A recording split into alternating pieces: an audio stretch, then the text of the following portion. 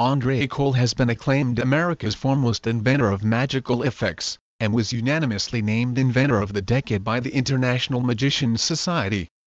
He has invented more than 1,000 tricks to date. In the magical profession he is considered to be one of the three leading magical inventors. Several of the best-known magicians in the world use his inventions. For 20 years he has worked closely with magician David Copperfield, who he regards as his best friend. They have collaborated to create more than 100 different illusions for the stage and television shows. Hi, my name is David Copperfield. Through the years, Andre Kole has not only been one of my closest friends, but he's also been a creative consultant for my TV specials. I had a desire to become a world famous magician. During the time I was in high school and college, I used to practice 10 to 12 hours a day during the summertime. And I remember way on back uh, something that I very seldom share. I think that I was really on the verge of getting involved in the occult. And I began to think how I could start my own religion. Uh, I developed different ways of concentrating on a watch or clock, causing it to stop, or concentrating on a glass and it burst into pieces. And obviously, these were magic tricks, but I got the idea of starting maybe my own religion. But one day, I Sunday, I felt like uh, going to church, and as I was walking along, it was just like a warm coat was put around me, something like uh, John Wesley said, I felt my heart strangely warmed. I just felt a love and the presence of God, and it lasted all through the church service until afterwards. As a result of that experience, I lost all interest in trying to create a religion, and I became very interested in studying the miracles of Christ from the point of view of a magician because I realized that if the miracles are real, then Jesus was real.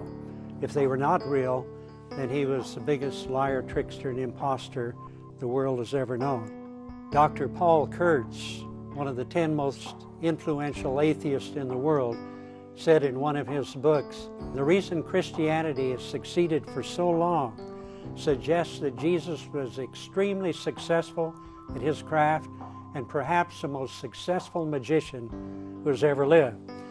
Well, the problem with that is Dr. Paul Kurtz is not a magician, but I am. I have over a thousand inventions in my field. I've worked with the world's greatest magician, David Copperfield, on probably over a hundred different illusions, such as making the real Statue of Liberty disappear for a few moments. So I don't pretend to know a lot about theology. But there's one thing I know a great deal about, and that's the subject to magic. And I discovered there are 11 different reasons why it had been impossible for Jesus to have been a magician. If Jesus was a magician, now recently I did a television special for uh, the BBC and the uh, Discovery Channel and on the miracles of Jesus, and they wanted to know if I could walk on water. Well, 10 or 15 years ago, I developed an illusion of walking on water that we can present on the stage with a big water tank and uh, things go under my feet and over my head. But they wanted to know if I could walk on water on a river or a lake somewhere, and I said, yeah, maybe I can. So I became the first person in history to be able to give public demonstrations of walking on water. But I make it very clear, as I did on the television show, that uh, it took me a number of months and thousands of dollars to develop the techniques that I was able to fool them with, with walking on water. So I often say that if Jesus had been a magician, then you would have to visualize 2,000 years ago Jesus and the disciples walking through the dusty streets of Galilee their long robes and sandals with three diesel trucks following along behind to carry all the equipment that had been necessary for him to be a magician. So it really goes beyond any possibility that he could have been a magician. But uh, if Jesus had been a magician, that would mean that his 12 disciples would have had to know how he did them. And not one of them ever exposed anything they did, even as worst enemies. None of my staff would die for me by saying that Andre Kole presents real miracles. I told them if they ever exposed any of my magic tricks, uh, they'd lose their salvation.